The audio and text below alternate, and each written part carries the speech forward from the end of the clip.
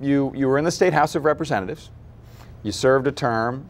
Uh, there was an opportunity, and you uh, ran for and won in a special election the, uh, the uh, county council president. And now that another election's coming up, you're saying, I'm running for Congress. So tell me, how did you, how did you get involved in politics? How did you get here? Tell us a little bit about Tom Kovach. Well, well thanks, uh, thanks for letting me tell that story, Charlie, because it's, for me, I haven't been involved in politics for my entire career.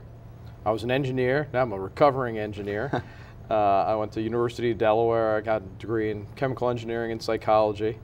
Uh, wanted to uh, branch out. I worked for a couple years. Worked at, uh, lived in North Wilmington. Worked in Philadelphia. Actually, worked for the Environmental Protection Agency. Mm -hmm.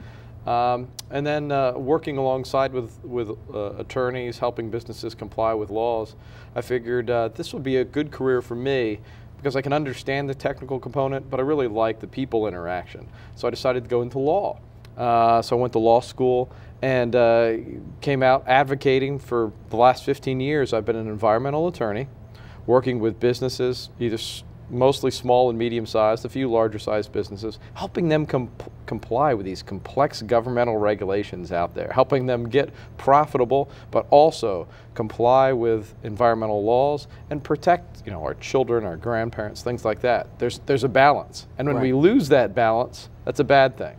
Well, as you said at the beginning of the show, in Delaware, unfortunately, we've lost our balance politically. Mm -hmm. So I was a regular voter in the 2008 election.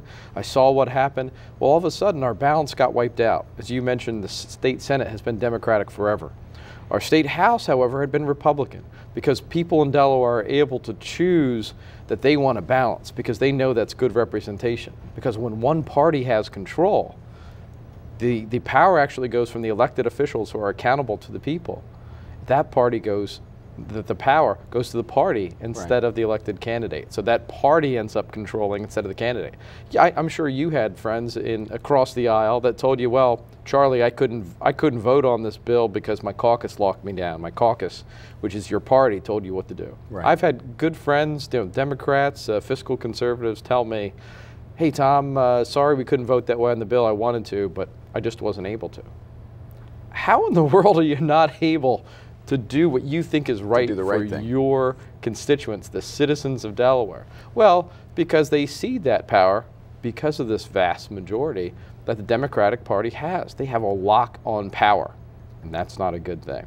So after the 2008 election, my state representative actually resigned. She resigned the day after the election because she started a job in New Mexico. Well, Long story short, her party had talked to her into keeping her name on the ballot. She ran unopposed. I ran in a very, what you'd call, Democratic district, from from Edgemoor all the way up to Claymont. Great people, great, you know, blue collar, working class people, very, you know, registered very Democratic. And uh, I said, look, this is, this is wrong. I want to give the people a choice. So I'd never been in a campaign, never been in an election, never even you know, door knocked for a candidate. I'd been at a few functions as, sure. as a business person and supported candidates you know, on both sides of the aisle that, that would do the best job.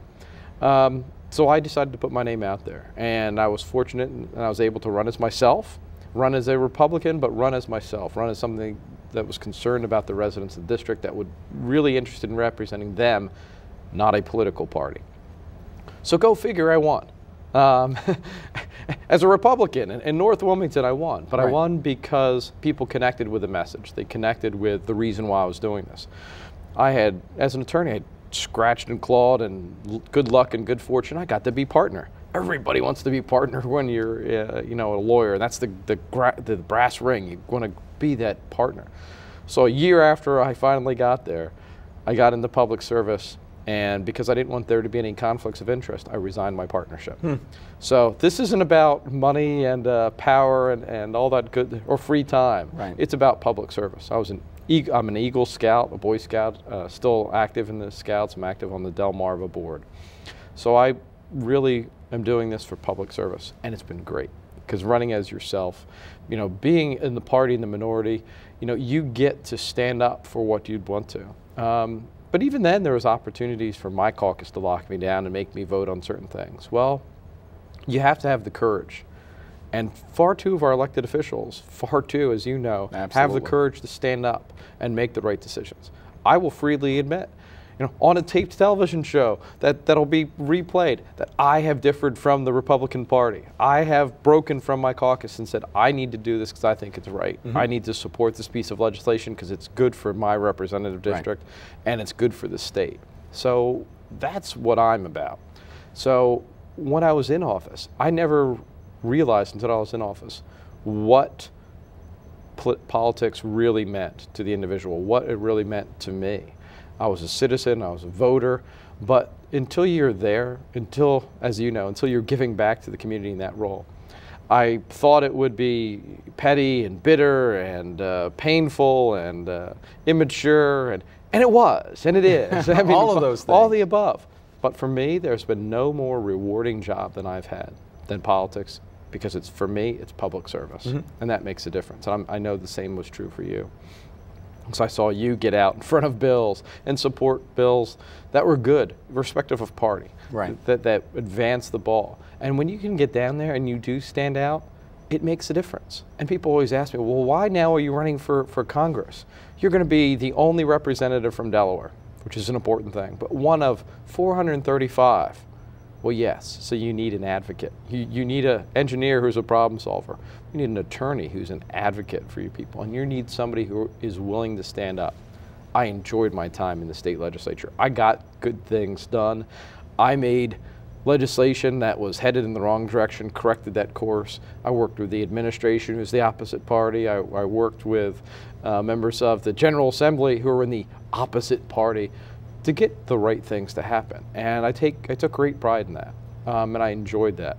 And as you said, all of a sudden in New Castle County, because of the 2010 election, the county council president came open, and somebody whispered in my ear, "Tom, you should run for that." I said, "Well, hold it. It's New Castle County. It's 50% Democratic and 30% Republican. You know, how in the world are we going to do this?" And I looked at my election cycle in 2010 in my small rep district. Uh, Chris Coons won 64% to 32%, two to one. Right. And we broke down the numbers, and at the end of the day, I got a quarter of Chris Coons' vote to cross over and vote for me. Somebody that voted for a Democratic United States Senator, six lines down, found their local state rep and voted for me. And that meant that was that was probably one of the most rewarding things to me Right. because that meant my district knew that I I cared that I was out there active for them. I said, you know what? If we can do that on a countywide basis, we can win. And sure enough, I was able to run as myself, run as a Republican, but one, run as a Republican, you know, that that cares about education, mm-hmm. cares about environmental issues, cares about getting the government out of the way of small businesses so the small businesses can be successful, so the small businesses can employ people, so the small businesses can get our economy going. And to me, that's what it means to be a good Republican. And you think, well, 50% of the county's registered Democrat, 30% is registered Republican. Even if somebody has good ideas, they're not going to have a chance. Well, I think that's wrong. I think people are selling the people of Delaware and the people of New Castle County short because I put out that message that I thought would connect with people that I knew connected with employers, knew connected with individuals and our families, and we won by over 15% as a registered Republican in New Castle County. So I've been able to go down the county council, make a difference. Again, stand up. I'm not shy. Um, I'm not not That is shy. true. that is absolutely true. There's been some 12 to 1 votes. I was the one. But those, when I made those votes and I stood up, I didn't just say no. I came out with a, with a message with an alternative. And we've actually implemented some of those things that I stood up for. And I'm very proud of that. And I'm looking to do the same thing in Congress. Stand up for the people, stand up for the right things in Delaware. I am not going to Washington, D.C. to fight for my political party. I'm going to Washington, D.C. to fight for the people of Delaware. So that's why I'm running, because I have that passion, because I have that fire in my belly, because I know if I spend all this time in politics and I spend all this energy, and you know I see my family, you know, hit or miss, but I take them to political events with me, and, and they go, and my, my daughters have been involved in my campaigns, and my son is out door knocking with me people ask, how can you do that with your with your young family? I have a 14-year-old daughter, a 13-year-old daughter, and, a, and an eight year old son. But when we look at the direction the country is going, when we look at the this is how we've always done it. Right. You know, Charlie, we have to do it this way. We, this is how we've always done it. When you look at what that philosophy has done for our government, we are in a boatload of trouble. Mm-hmm. It can be corrected, but it's going to take a lot of hard work, and it's going to take somebody to say, you know what? Some of these popular things that the government's been doing, quite frankly, to buy votes. Right. That's got to stop. Right. We've got to take care of the large amount of citizens instead of taking care of a few select groups. And most of our politicians, when they get elected, turn into politicians. They turn into people that are looking to get reelected. How can I get my next job? How can I get reelected?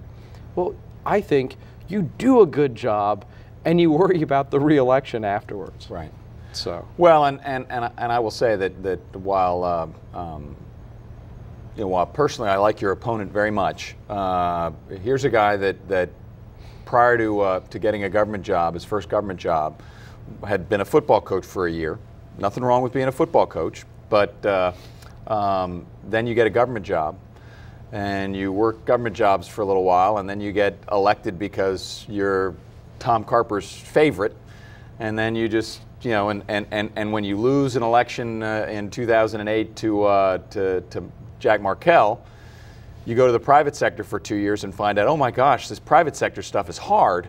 I'm going to go get another government job, and uh, and you're the uh, anointed one for the political party, and it's it's all a power play. Well, it, to, to me, Charlie, it, you shouldn't vote for somebody because of their party, and you shouldn't also vote for somebody because you feel sorry for them because they they, they weren't in the position that they should have been, that the party thinks they should have been. There is no line, there is no entitlement as somebody that's put their time in government to move up that spectrum. As a matter of fact, you have to make sure that a good administrator, again, my, my opponent in the November election, you know, by all accounts was a good administrator. You know, and he's a really nice guy. And you know what? I like him personally too. I just saw him on Friday at, at a fundraiser for, for a, a charity. I spent a, a few minutes talking to him. I really do like him. He's a nice guy. But that doesn't mean that he's the best choice for Delaware. Right. That doesn't mean that, you know, he is going to be the one to lead our state in a very difficult environment. Right. Again, I'm an attorney. I'm used to those battles, but I'm also used to those battles in a productive way. Mm-hmm. As Delaware attorneys, we argue vigorously for our clients, we advocate for our clients, and we battle. But we do so in a respectful manner because you never know when you're going to need the help of that other attorney across the way. You right. make sure that you carry yourself in a productive and dignified and manner with civility so that you can reach out to that attorney on the other side and shake their hand after that argument. And that's what we've lost in Washington. Mm-hmm. I mean, Washington's really gone polarized.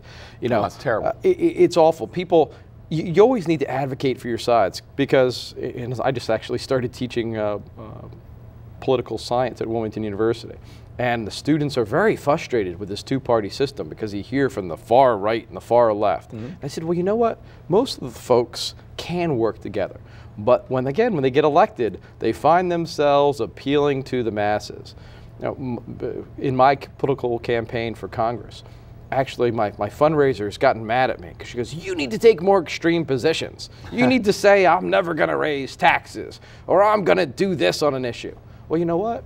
That's irresponsible because right. you don't know what's going to happen when you get down there. Now, I'm going to fight for less of a financial burden on our families. Right. I'm going to fight for less financial burden on our businesses, less regulatory burden. But we can't go in and say, we're going to eliminate the EPA, right. Uh, you know, the Environmental Protection Agency. That gets a lot of votes and that gets a lot of money. But that's not the truth, and right. that's not realistic. And what we need to do is advocate for those proper perspectives. When you find yourself representing the edges, then you're not representing the people. And my opponent is a nice guy.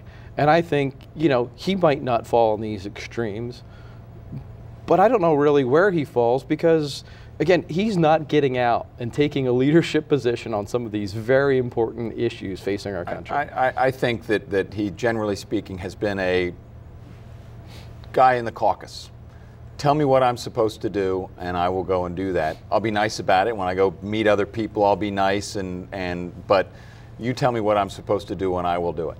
And, uh, and therefore, he'll get the, the office, or he'll get this committee assignment, or he'll get money for this road project, or something like that. They'll, you know, sort of pay for that. Uh, and, and, and I mean, that's the, the game that's played. I mean, it's played in Dover, uh, it's played big time in Washington because they have a lot more money.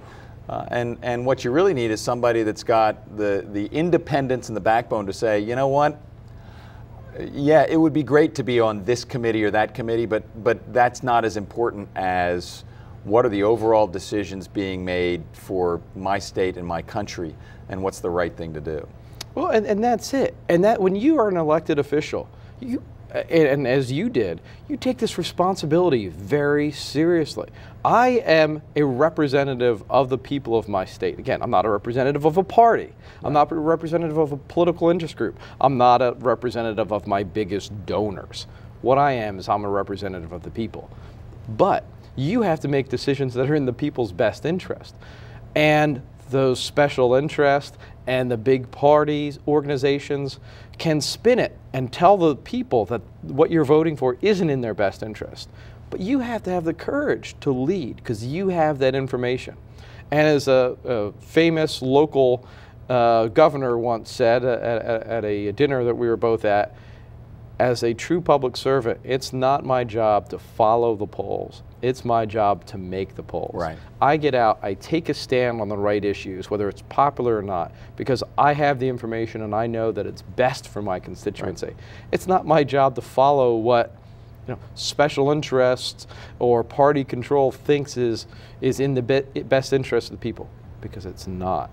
Because again, well, and, and educating a voter takes a long time, and and so many of our uh, elected officials just default to the soundbite and don't actually get out and, and begin a process of educating voters on important issues. So, you know, you get the, the healthcare debate, and it all comes down to, to this soundbite versus that soundbite versus what is the right way to try to get 20% of the economy functioning in a way that, that is affordable or as affordable as possible, yet provides a, a high quality of equal access health care across all economic strata. And, and that's a complicated conversation to have, but we refuse, or not we, I, but I think that, that the elected officials, and frankly, I think a lot of the media, refuses to engage in that actual conversation. And, and you know, I listen on, on, the, on the radio and the news to, to CNBC and Bloomberg because I just I, I like listening to business news and whatever. And they'll get representatives and senators on and they'll talk about some issue and immediately it's just the soundbite against the soundbite. Well you just want to throw grandma off a cliff. Well you just want to you know tax uh, people so that the business goes somewhere. I mean you know it's could we just stop could we just stop and, and have a conversation about how do markets work and how does the education system work and, and that kind of thing? Well, and that but, but as you know charlie unfortunately unless you have somebody willing to do that job and do it the right way unless you have somebody willing to step forward and with the background and education and experience to do so, we're going to get more of the same. And we can't afford more of the same. We need a leader to go in and say, look, what is the right answer? It depends. It depends what the situation is. I'm not going to come in and say, you know, oh, this, this health care bill, we've got to throw it out because all 100% of this bill is awful. Well, you know what? Right. There are actually good parts to that health care bill. Right. Now, the whole package has sold to the American right. public. It is, there's so much bad with the good. 2,700 pages of anything. I mean, if, if try to pass the phone book. I mean, it's just that. But you, it, there's there's no reason we can't pass these things in parts. Right. And there's no reason. That's what should have happened. Let's break this not, out and that out. It's not sexy, Charlie, because then you have the harder time passing those bits and pieces that and are you have less to educate popular. the voters. And, and who wants to do that? Right. That takes too much time to educate the voters. And it's easier to say, we'll pass the bill, then you'll know what's in it. And that is the wrong thing to do. We, we need we need elected officials that are going to get in, educate the voters because they they've themselves gotten educated. And I will tell you, the one promise I will make is I will never, ever sign or vote for a bill that I haven't read. That's going to be a lot of lot of reading, 2,700 pages. But let me let me this Tom Kovach, You're currently uh, New Castle County Council President. You're running for Congress on the Republican ticket. Uh, if somebody wanted to, to, to, get more information about you or, or what have you, do you have a, a website? Absolutely. One of the things that we like to do is, is, make sure that we reach out to people. We have a website. It's your standard website. It's got some good general information on it, and we hope you look at it and get interested. But then call me, write to me, email me, Twitter me, Facebook me, send me an instant message. I want to hear from you. Every week we send out an email to the community saying, This is what an important issue is. What are your thoughts? I want to develop a dialogue with the voters because the voters are the ones that I need their input. I don't want to tell everybody how it is. I want to get solicit input from the citizens. And I want to say, look, this partisan rhetoric, this one party rule, the majority of the state's Democratic Party is not always serving your best interest. Look at the best candidate, develop a relationship with that candidate because this is Delaware and we can do that in Delaware. Vote for the best candidate. I want to educate you. I want you to educate me, and I think together we'll make a better Delaware. That's why I'm running for Congress. I would proud to be your representative one representative from Delaware in the United States House of Representatives. I'm looking for your support. I'm looking for your vote. I'm looking for your feedback. I, I look forward to hearing from you. And Charlie, thank you for having me on your show. Absolutely. Uh, and the, the website address is www kovachforcongress.org. And kovachforcongress.org. Or you could Google. Kovach for Congress. Now, is it for the F-O-R. number four? F O U R. Uh, uh, or F O R. Not, not, not four. Yeah, four. No, yeah, no, no, yeah. See, I, not, I, know how to spell, just the wrong one. That, that's right. Uh, unlike other candidates, I'm, I'm not selling my candidacy. It's not F O R. Oh, right, right. It's a, uh, but that's uh, right. Kovach, F O R, Congress. Congress. Or even more simple, go Google. Google. You know, Kovach Congress Delaware or Tom Kovach Delaware. You'll find enough things on the web. I've been in the paper enough because I've stood up for the right things. And uh, there's enough stories. Do your research. You look at your candidates. The best prediction of future action is past action. Do I stand up for what you want to stand up for? I think I do. I want to get more educated about the issues impacting our voters statewide. I'm very familiar with New Castle County. I'm getting down to Kent and Sussex County. But we have some serious issues in our urban areas, our cities, our suburban areas. We have growth issues that I deal with on the county. We have uh, you know, issues with you know, reinvesting and, and getting our cities going again. I've been in Wilmington, I've been in more ribbon cuttings in Wilmington than anywhere else because I think we need to focus in on Wilmington because if we ignore Wilmington, which is easy to do for politicians running statewide, we do so at our own peril. It can be the financial and cultural hub of our state and really spread a positive message about Delaware emanating from Wilmington. That's great.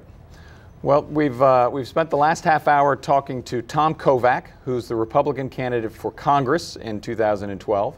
And, and I know a lot of viewers out there uh, have probably already made up their mind as to who they're going to vote for President of the United States. And I have no problem with that. I think that's a, a, a wonderful thing to do. Uh, but I would just ask that we have a lot of great candidates on both sides of the aisle in the state of Delaware. And Delaware has been controlled by one party for a long, long time. And I believe in competition. I believe we have great local Republican candidates who may not really be the same kind of Republican candidates that you sometimes see in the presidential elections and things like that. Some of them are, some aren't, but it's incumbent upon, upon the voter to know who the, who the people are out there. What do they stand for? And today, with the internet, uh, with telecommunications uh, and, and stuff like that, you can find out a lot about a candidate. You, Tom Kovach has a voting history, both in New Castle County Council and in the State House of Representatives. Uh, you can go see what, what he's about. Here's a guy that was an engineer, chemical engineer, became an attorney to work on environmental issues to help small businesses work their way through government bureaucracy uh, while protecting homeowners and families uh, then that's a great set of skills to then bring to elective office. And so I hope you give uh, Tom serious consideration. And with that, uh, the next half of the hour, we're going to replay an interview that I had with, uh, with Kevin Wade a few weeks back. Kevin Wade is running for the U.S. Senate uh, as a Republican candidate here in the state of Delaware. And I hope you, you listen to what Kevin has to say as well. So with that, I will.